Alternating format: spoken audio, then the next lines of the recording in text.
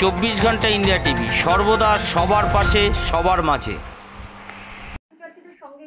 ঘোড়ার ডিম করবেন। ঘোড়ার ডিম করবেন, ওনাকে আসতে বলুন না। আমি তো সেদিন চ্যালেঞ্জ করেছিলাম। ওনাদের একজন মুখপাত্র বলছিলেন যে শুভেন্দুবাবু কেন চাইমন্ড হারবারে দাঁড়ালেন না? আমি বললাম, বলেছিলাম যে, আপনাদের ভাইপোকে বলুন না, তমলুক এসে দাঁড়াতে। তমলুক লোকসভা কেন্দ্রে দাঁড়াতে। দেখি কতটা সাহস। ঘোড়ার ডিম করবেন।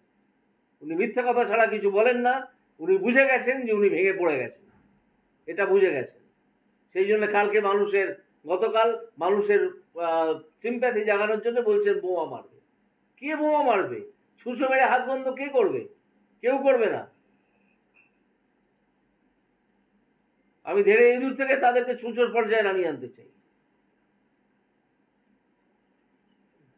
ক্যাবিনেট যুক্ত। সেই জন্যই তো আমি মমতা ব্যানার্জি সরকারের পদত্যাগ করতে করতে বলছি। এবং এটা ধরা পড়ে গিয়েছিল আমার সামনে। যখন ধরা পড়ে গেল, আমি যখন জাজমেন্ট যখন আমি অর্ডার দিতে বসছি, তখন একজন এসে জানালেন যে সুপ্রিম কোর্টে একটা স্থগিত আদেশ হয়েছে। এই মামলাটা নিয়ে আর এগোনো যাবে না। নাহলে আমার সামনে যে কাগজপত্র এসে গিয়েছিল, তাতে বোঝা গিয়েছিল যে এই সুপার নিউমারি পোস্ট ক্রিয়েটে মন্ত্রিসভার প্রতিটি সদস্য জড়িত। প্রতিটি সদস্য। এবং এটা ইনিশিয়েট করেছিলেন মমতা ব্যানার্জির একজন অত্যন্ত ঘনিষ্ঠ জোচ্চর একটি ছেলে আছে চ্যাংড়া ছোড়া নিজেকে পলিটিশিয়ান বলে সে। আমি তার নাম মুখে আনতে চাই না। তার নির্দেশে মন্ত্রিসভা চলছিল। শুধু মমতা ব্যানার্জির নির্দেশে নয় ইমিডিয়েটলি তার গ্রেপ্তার চাই। ইমিডিয়েটলি তাকে কাস্টডিতে নিয়ে জিজ্ঞাসাবাদ করতে হবে। আর কিছু বলার আছে আপনার? যাদের পুনর্মূল্যায়নের ফলে যাদের যোগ্য প্রার্থী বঙ্গবন্ধু চাকরিও করছিলেন, নিশ্চয়ই রাজ্য সরকার, তখন যে রাজ্য সরকার থাকবেন, আমি আশা করছি নির্লজ্জ সরকার আজকেই পদত্যাগ করবে। আশা করতে পারি, আর কি করতে পারি? আমার ক্ষমতা থাকলে আমি তাদেরকে কান ধরে টেনে নামিয়ে দিতাম এই ক্ষমতা থেকে। সে ক্ষমতা আমার নেই। মানুষের আছে, জনগণের আছে।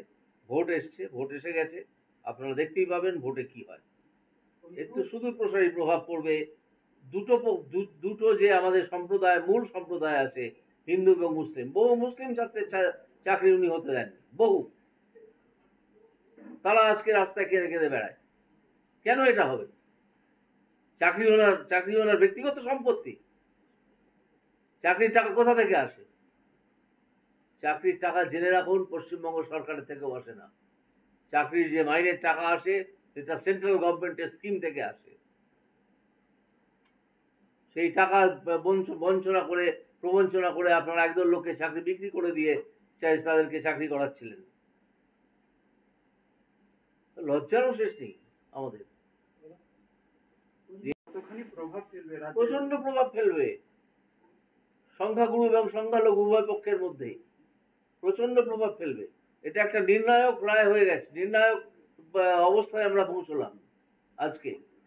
যে কত বড় জোচ্চর সরকারের আন্ডারে আমরা আছি অধীনে আমরা আছি।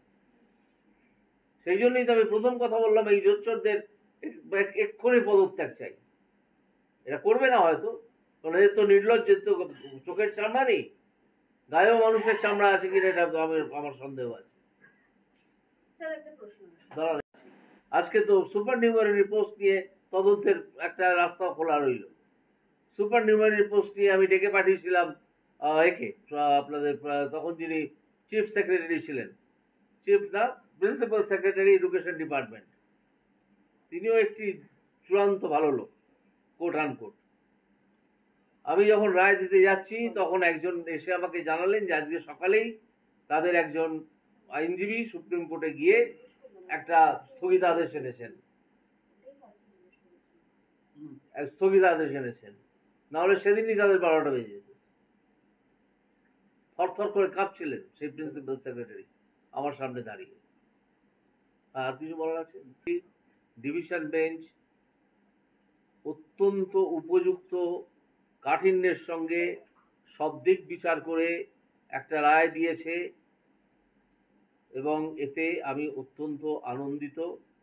তবে আজকে আনন্দ প্রকাশের দিন নয়, কারণ এই জোচ্চরদের অধীনে আমরা আর থাকতে চাই না। স্বস্তি না, কোনো কোনো স্বস্তির বিষয় নেই। আপনার যখন আমি যখন বিচারপতি হিসেবে কাজ করেছি বা আজকে যখন সাধারণ নাগরিক হিসেবে আমি কাজ করি, তখন আমাকে সবসময় মাথায় রাখতে হয় যে আদালত হচ্ছে একটা জায়গা যার আদেশকে মেনে নিতে হবে। যার আদেশকে মেনে নিতে হবে। এটা আমার কোনো ব্যক্তিগত বিষয় ছিল না যে আমার স্বস্তিবোধ বা অস্বস্তি বোধ করব। আমার খারাপ লাগা আছে যে যোগ্য প্রার্থীদের বহুদিন ধরে বহুদিন ধরে বঞ্চিত করে রাখা হলো। তারা যারা টাকা পেল না, যোগ্য প্রার্থীরা, তারা যোগ্য প্রার্থী যারা আবার নতুন পুনর্মূল্যায়নের ফলে যারা চাকরি পাবেন, তাদের জন্য আশা করব রাজ্য সরকার, যে রাজ্য সরকারই থাকুন, সে রাজ্য সরকার একটা ব্যবস্থা করবে। আপনি প্রথম থেকেই একটা বলে আজ এ পর্যন্ত সঙ্গে রাখুন চব্বিশ ঘণ্টা ইন্ডিয়া টিভি। দেখতে থাকুন সব জেলার সব খবর। সবার আগে চব্বিশ ঘণ্টা ইন্ডিয়া টিভির পর্দায়। নমস্কার।